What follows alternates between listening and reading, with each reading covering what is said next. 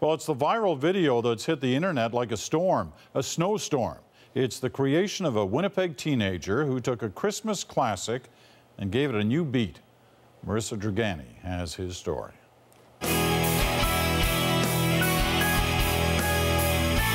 The little drummer boy has never looked and sounded like this.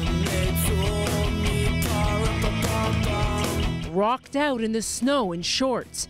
But then 16 year old Sean Quigley did what lots of teenagers do nowadays he posted it on YouTube. I wanted to do a Christmas song, and Little Drummer Boy is just sort of something that really spoke to me. Since it was uploaded last Thursday, his video has been viewed about 200,000 times. Quigley says he played every instrument in the song and recorded it in his basement. Then he and his sister shot this slick video. It features his friends wishing people Merry Christmas in different languages. He wants to share his passion with everyone.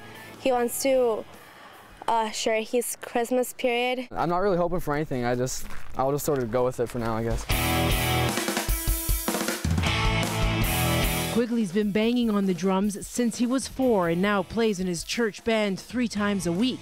But he says he's not looking for rock star glory or to be the next online sensation. I didn't have any intentions of getting hundreds of thousands of views or getting all this publicity. I just wanted to make a song about how I feel. A song, he says, to remind people about the true meaning of Christmas. It's not about Santa Claus. It's not about, you know, all the Christmas trees. It's about the birth of Christ. And for this teenager, that's the greatest gift he feels he can give anyone this Christmas.